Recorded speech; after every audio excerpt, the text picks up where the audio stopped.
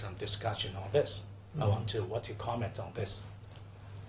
Actually, it has been our policy since Yeah. a long time that there is only one China in, in the world, Yeah, and that is People's Republic of China. yeah, Taiwan is also the part of China. yeah, Hong Kong is also part of China. yeah. Tibet is also part of China. hmm That is our national policy, hmm Nepal's national policy. Yeah. Not only my party's policy, Mm. my government policy, but it is the policy of all party Mm. in Nepal.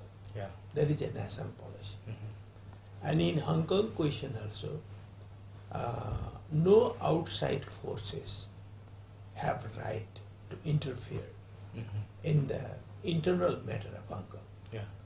Hong Kong administrative region uh, has only right to rule to rule the people of Hong Kong. hmm There is one country, two system there, Yeah.